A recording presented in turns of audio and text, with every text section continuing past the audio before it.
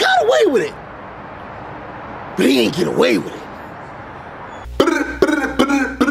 You already know what it is, man. Salute to the subscribers, that notification gang, etc., etc. Don't let none of that get too far ahead of you. You know who I be. Yeah, yeah, yeah. Let's get right to it. I hear a lot of y'all talking about a blogger list. I seen the the, uh, the tweets and the words going out. I spoke to Debo today. I, I talked to him about a couple different things. I said, when you coming back outside, people want to hear from you. Everybody want to know why you did what you did in correspondence to the event that just happened this weekend. He will be speaking soon. He gonna give his own opinion on the shit that he did. I explained to him. I said, yo, the moves that you made this weekend was very fish market, was very crunchy. I did not, you know what I'm saying? I wasn't jacking that. The nerve of you. but you That's know, like, disrespect. You walked in there, you back, back, back, back, back slapped that man, and he basically has his reasoning and things like that. No, they not cool. No, they not gonna did it. So that's just is what it is. I told him that I respected the way that Caps handled it. He went out, he spoke about it, he let people know how he felt, and I gotta, gotta, I gotta give it up. Cause first of all, Debo went there with the intentions of embarrassing Caps, and somehow it flipped to where now you look crazy. I asked him specific questions. I said, "Yo." When you left, what was you listening to? I don't know. I just be wanting to know shit like that. What was you listening to on the way to this ruckus? He said he was listening to 50 Cent. He said he was, you know what I'm saying? I don't know. I be wanting to know what song in specific, what song specifically, you know what I'm saying? He was listening to joints like Heat. If you be sharp, you be shook at me. Cause I get tired of looking for you. Spray your mama crib and let your ass look for me. Time to cock it. No way you can stop it when niggas run up on you with them things out. Things out. I do what I gotta do. I don't care if I get caught. If it's beef, cock it and dump it. The drama really means nothing. That's not really a good playlist to listen to when you're on your way to do some bullshit. But that's first of all. I did ask, you know what I'm saying, like, how long was he in the event? He said he was only in the event for like a minute or two. He went straight to the target and got the fuck up out of there. He said he didn't run. He said he left the event. He was calling, trying to get it. But he'll explain it. He'll explain everything to y'all, you know what I'm saying? I like, but at the end of the day, Told him that shit was fish market, it was crunchy, I didn't respect it, but I understood why it happened because where we from and where I'm from and where Caps is from too, he from Harlem. He know niggas do not be waiting to find you to say, hey, we gonna go fight at six o'clock on third on Thursday. It don't work like that. And not just crunchy, it was very crunchy. You know what I'm saying? You got an event, you got a lead, you got a lot of shit going on. You got uh, QB Black Diamond throwing the whole event. Shout out to her, her recap. I did see the event. I'm gonna be talking about that real soon. But the blogger list. Is there a list of people who are to get swung on at events? Is there a hands list? Is there a blogger list of who can't come outside anymore? Uh, I was told no. Uh, you know, certain people do have issues with people in battle rap, but you know, a lot of the people whose issues are there, they know they have an issue with someone. It's not a secret as to where, you know, somebody's gonna see you and, oh, check the list. Oh, he's on it. You know what I'm saying? It doesn't work like that. I'm gonna tell you how it works because a lot of these battle rap events, and I can speak from a blogger who has been to events. I went. I remember there was a time when people said you wouldn't go to events, whatever the case may be. I don't feel like an event or going to events makes you any better than anyone else. I've said it for years. Even though I went to most of the ones that happened last year and I'm booked, you know what I'm saying? Like for me, it's business. So when I go to these events, I am part of the production. I am part of the pay-per-view. I am part, it's business, it's a contract. I'm gonna be here at this time. I'm gonna be here till this time. I got this many people with me. It's all business. As a blogger, if you go to an event, just copping a ticket to go stand in general admission, go stand in the crowd, by all means. If you can do it if you want, but I don't know if, especially if now if you a nice guy, you just nice to everybody, and you know you never in shit like that. That's one thing. But if you got even a little bit of spice to you, you may have an issue with someone.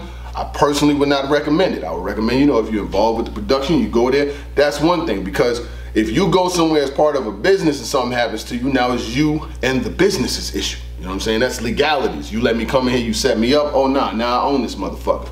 Big difference. You see what I'm saying? Now with bloggers, you know what I'm saying? They're gonna talk their shit, they're gonna do what they do. As far as this shit that just happened this weekend, that's personal. They have issues that they've had amongst each other for quite some time, whether it be verbally, Caps feels how he feels, Debo feels how he feels. And I told him, I said, I don't got no side in that shit. Once you do something, I'm gonna talk about it. They do something, I'm gonna talk about it. Battle rap do something, I'm gonna talk about it. The only person side in battle rap that I have is Showtime SPs. Nobody else. When he leaves the house with me, it's my responsibility to make sure that him, my cameras, and whoever else leaves with me makes it back. You know what I'm saying?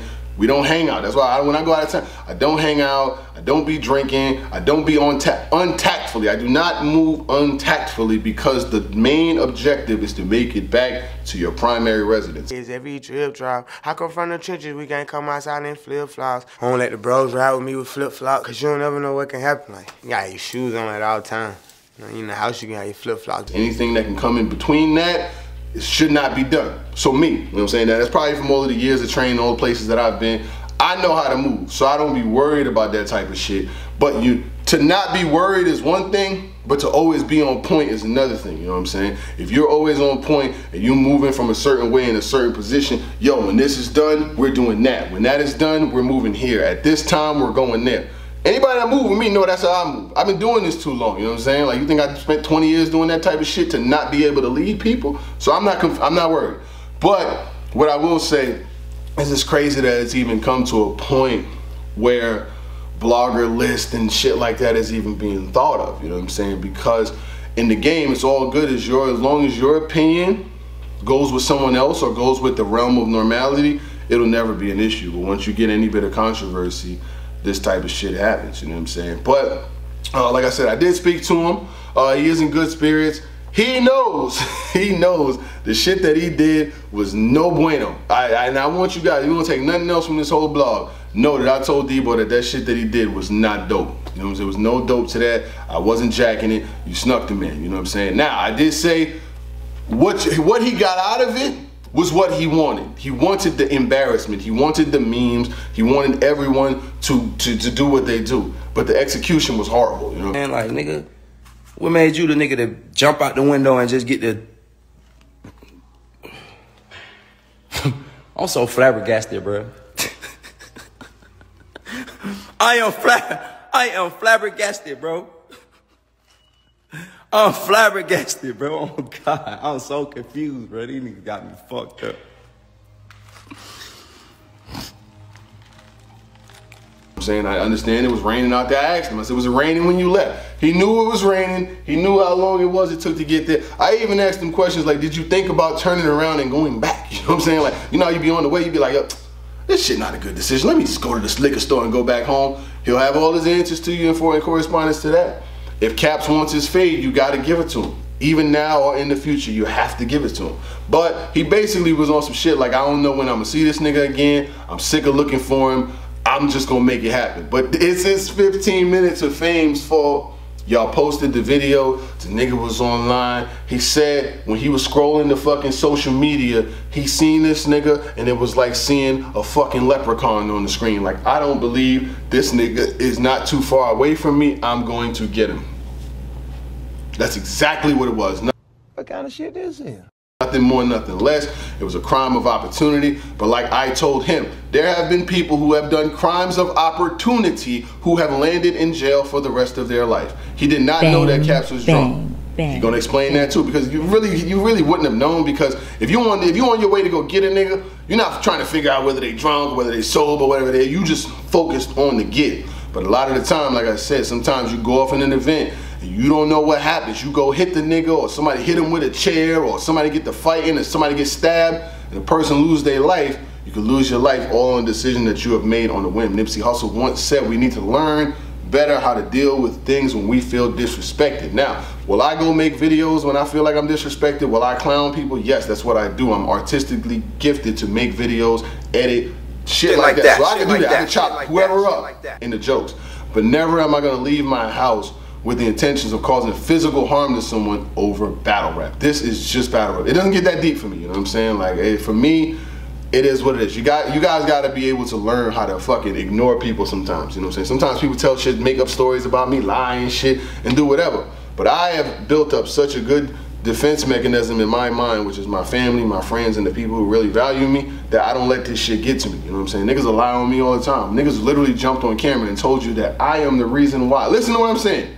Me, a fucking battle rap blogger, is the reason why Tsu Surf is in jail.